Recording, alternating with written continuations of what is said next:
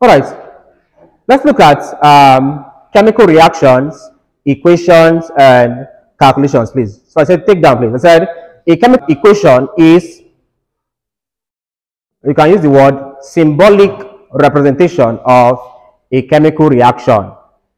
A chemical equation is the symbolic representation of a chemical reaction, full stop. Chemical reactions are changes which transforms elements to compounds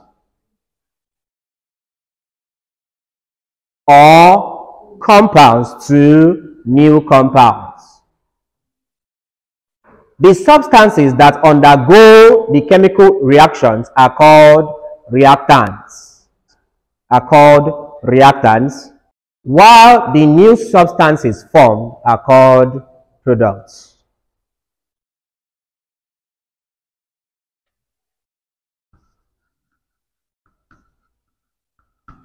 Usually, for a chemical reaction, usually for a chemical reaction, you can write this please. Uh, what this means is this, I have reactant, how do you read this? No, how do you read this? This, this, is, this is read reactant or reactants, that's how I read it. So in English language, you don't write boy or boys. No, that, that's outdated. You simply do this. B-O-Y, this. This is read boy or boys. So this means reactant or reactants undergoing chemical reaction to give you a product or perhaps several products. That's how it's read. Take down, please. Take down. Some visual changes. So what should be here is chemical reaction. Let me use CR. Chemical reaction. Reactants undergo chemical reactions to form either a product or several products as the case may be please. Take that please. Some visual changes that may occur during a chemical reaction includes another very important concept you should remember. Some visual changes that may occur during a chemical change or a chemical reaction includes number one, number one, formation of a precipitate. Number one,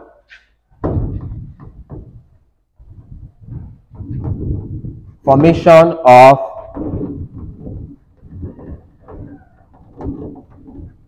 a precipitate. What's a precipitate?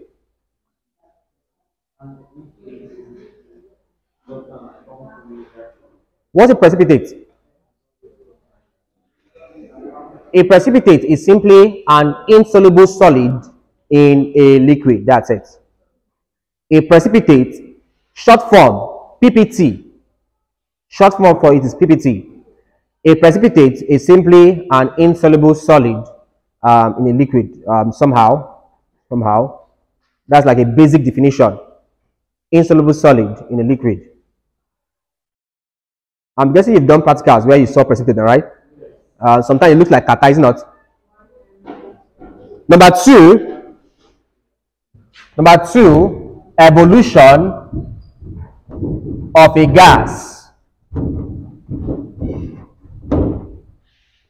So, uh, by the way, I don't know if I've told you, your chemistry test is subjective and objective. So it's not theory. It's subjective and objective. So, yeah, they'll give you the same which of the following is not an evidence that a chemical reaction has occurred? The list. So you should know how to pick list. All right, number two, evolution of a gas. Number three, a change in color. A change in color.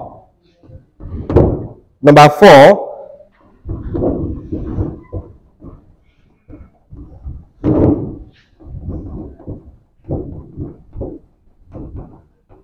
a change in temperature.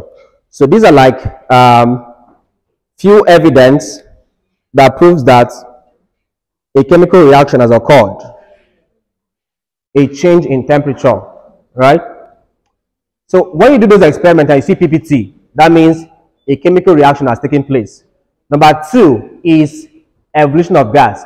When you're in the lab, when a gas is evolved, how do you perceive the gas?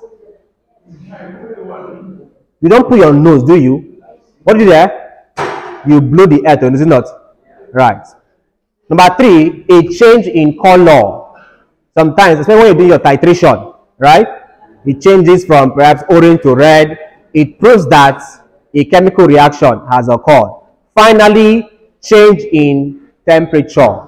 And that's why in some reaction, you don't use your hand to hold the um, conical flask. There's something you use. What, what's that thing called? Tongue. So you use to hold your conical flask because in some in some cases, in some cases you can have a cold substance and a cold substance. If you use your hand to hold them and turn them together sometimes, the temperature can become so hot that it will fall off from your hand. You just have to leave it. So you don't really use your hands and um, doing that stuff there. All right, take down please. Take down please. Another important concept please. Types of chemical reactions. Please, very important point. Chemical reactions.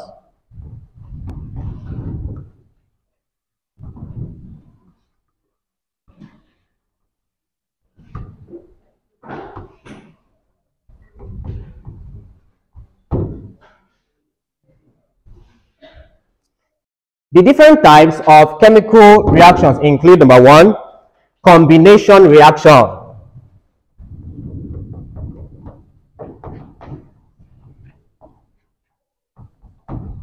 It's almost impossible to write physics exam or test that you not see this, this particular one, either your test or exam. It's almost impossible. Chemistry, it's almost impossible to write chemistry test or exam that you don't see this concept. Number one is called combination reaction. Take that, please. Very short notes. These are reactions in which two or more substances, these are reactions in which two or more substances combine to form a compound. Two or more substances combine to form, let's see the word, a larger compound. Yeah, better. Two or more substances combine to form a larger compound. Example, in the formation of water, example, in the formation of water, all right, so I have this, you have this. So look up, please. I have to balance this. So water, hydrogen, oxygen, I have this. I have to balance this. Obviously, two hydrogen here, two hydrogen here, balanced. Two oxygen here, just one oxygen here.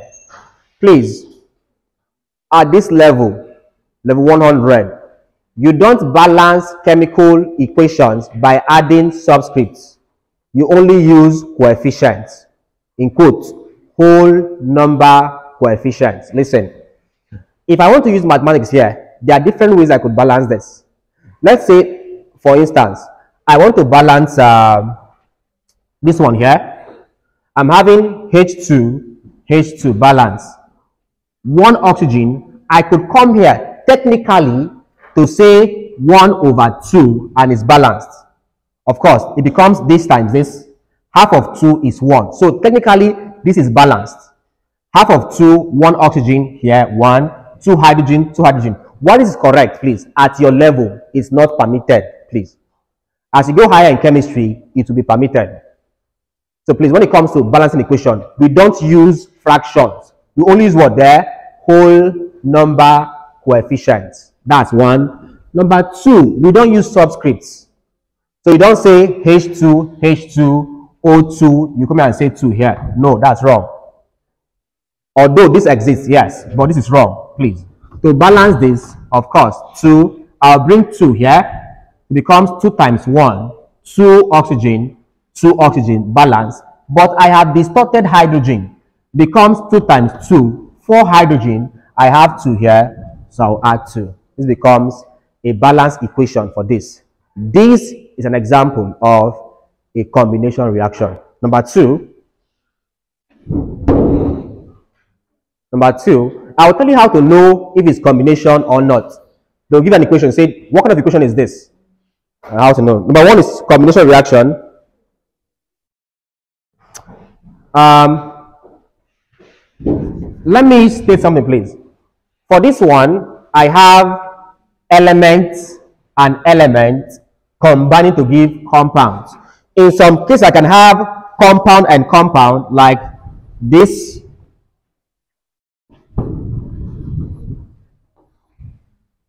Like this one here.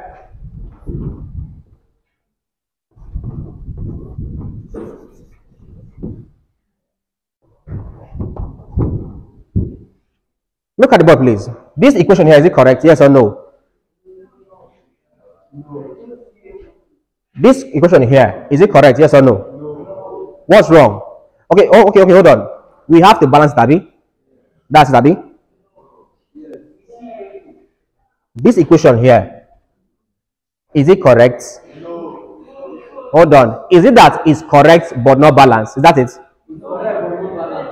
It's correct but not balanced. If it's not correct, let me stand up. It's not correct. Why is not correct? What if it's not correct? You raise your hand now, chief. You raise your hand. You that's looking at no no you that you looking at you, you you raise your hand. Yes. Why do you think this is this is not correct? Why do you think so? Doesn't exist, right? Yes. Why? This does not exist. Why? This compound is calcium Ca, which is 2 plus, combines with oxygen O2 minus. We said when they move, they will cancel each other. So it should be what there? CaO. Please. It. Yeah, but calcium peroxide, peroxide, perhaps. Hydrogen peroxide is this one we just did here now. But don't worry, leave this one. We'll come to this one later. Let, let's hit on this one so we can go on a break. I'll come to this one later. Is this not balanced? Is it balanced? One calcium, one calcium, one carbon, one carbon, two plus 1, 3 oxygen, 3 oxygen. This one here is still a combination reaction. How do you spot a combination reaction? For a combination reaction, you have smaller reactants giving you a bigger product. Smaller reactants giving you a bigger product. This one to giving you a bigger product. That's combination reaction. Number two,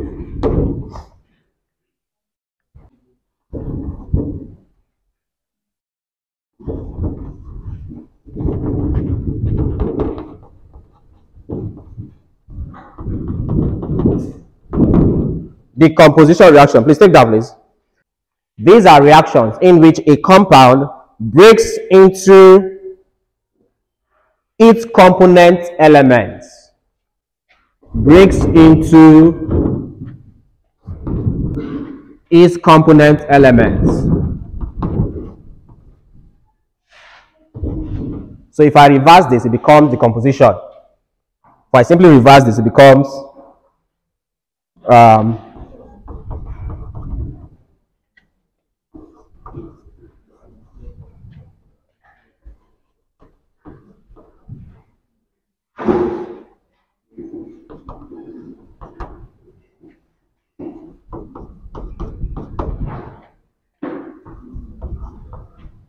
Okay, hope these are balanced. Yep. Balance equation. 2 potassium, 2 potassium, 2 times 1 here, 2 chlorine, 2 times 1 here, 2 chlorine. 2 times 3, 6 oxygen, 3 times 2, 6 oxygen. The easiest is for, for you to differentiate between uh, what's it called combination and decomposition is that they are actually like if they, they are like a flip side of each other. For combinations, two smaller ones add up to give you a bigger one. For decomposition or disintegration, you have a bigger one breaking down into two smaller ones. Um, that's it. The third one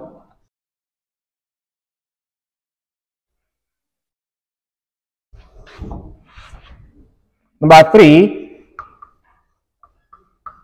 displacement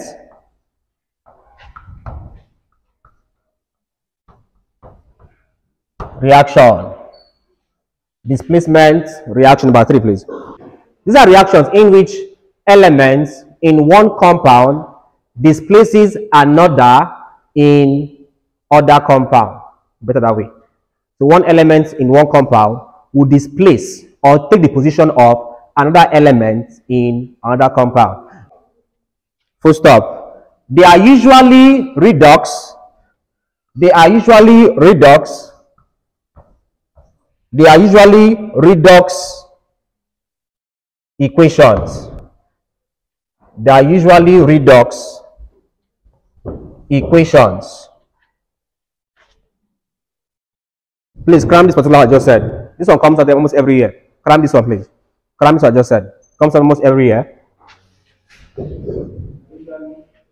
Redox.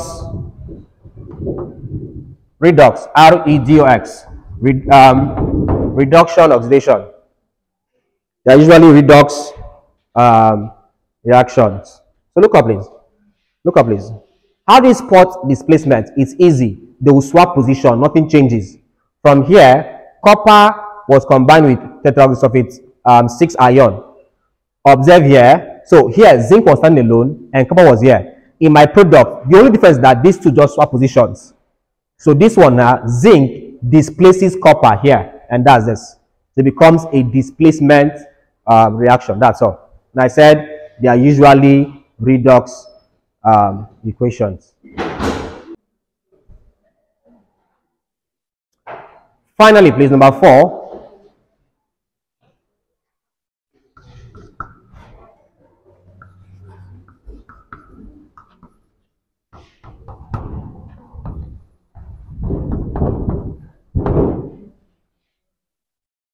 Meta, meta what? I learned that this is word there. Thesis, not thesis. Thesis. Yes, it's called a metathesis reaction, not thesis. Thesis. Ah. There are of two types. They are of two types. They are of two types. Metathesis reaction, please. Take that, please. There are two types of metathesis reaction. There are two types of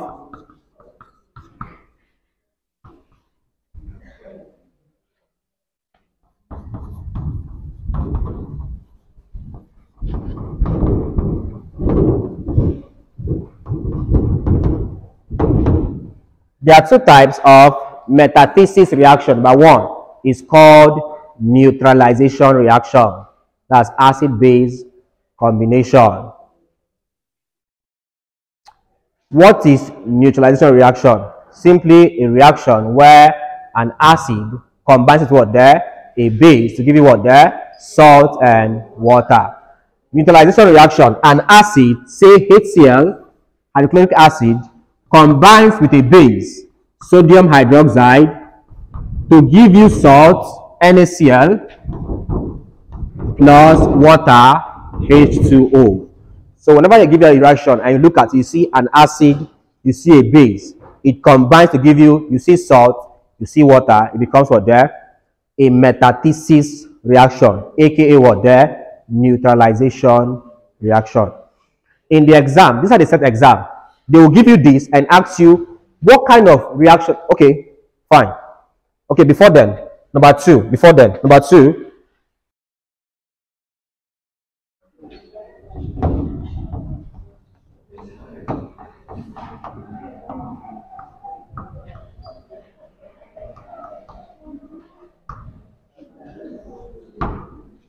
Down, please. A precipitate reaction is simply a kind of reaction where a precipitate is being formed. Okay, call this precipitation reaction, fine. A kind of reaction where a precipitate is being formed.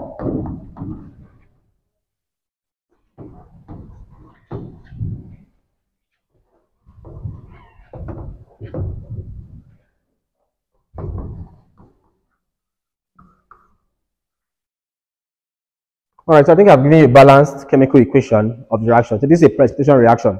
Now listen, listen. So these are like the four types of reactions. Combination, um,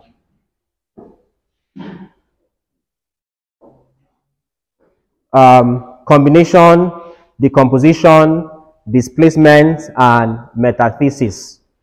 All right, listen. Um, I think combination is easy to know. You have smaller reactants giving you bigger products. Decomposition is, decomposition is also easy. Bigger reactants breaking down to what there? Smaller products. Displacement, also easy. It's literally the same thing. They just change position, as you can see here. Okay? The, the harder one to get there is metathesis, especially this one here, precipitation. Now listen, here's how they set your test question. They'll give you this question here and say, what kind of reaction is this? One of the options will be metathesis. Another option will be acid-base neutralization. So question, which do you pick? Please. They'll give you this question here. This one is metathesis, yes. But it's also neutralization. They'll give you these two options. Which do you pick? Pick neutralization there. Why? Because under meta metathesis or metathesis, there's also what there? Precipitation, please. So please always pick out um, neutralization. How do you identify a precipitation reaction? Is not the question. Because literally you have to actually do the reaction first and see the precipitate. There's always a hint. Listen, there's always a hint in the question. If you go through past question, they don't expect that you should know all of this. They expect you should know this one. Of course, if you're good with basic chemistry, you should know this. When you see an acid and a base and a salt and a water, you should know. When you see combination, you will know small, small, bigger one. When you see decomposition, you should know bigger, small, small. But you cannot always tell precipitation. So how do you always remember precipitation? Read your question carefully. They will give you a hint. You'll see a question like, in the formation of calcium tricarbonate 4, using this and this, comma, where a precipitate is formed according to the reaction below. And I'll give you this. Now ask you, what kind of reaction is that? The answer is precipitation. The idea is this, they always give you that hint there, that a white insoluble substance is formed. They'll give you that code there. So that, that is that it's what there? Precipitation. So always note, always look out for that thing there. They'll give you that hint there. And that's it. All right, I think at this juncture, we can take a break.